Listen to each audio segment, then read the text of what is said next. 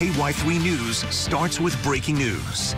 Good evening. First tonight, a neighborhood evacuated after shots were fired in North Springfield near Weller Elementary School. A deputy was also hit while serving a warrant. Francis Watson joins us live with the very latest on the deputy's condition and a very active scene. Francis? Yeah, that's right. Uh, Lisa and Steve, we're outside, like you mentioned, just near Weller Elementary School where there were shots fired. Now, according to Sheriff Arnott, deputies were coming out to this neighborhood to serve a felony drug warrant. That's when they started taking shots. One deputy was hit in the chest, but he is in stable condition. Sheriff Arnott saying that a metal plate that was added to his vest likely saved his life. Now, this is what the scene looked like a little while ago at, before the suspect was apprehended.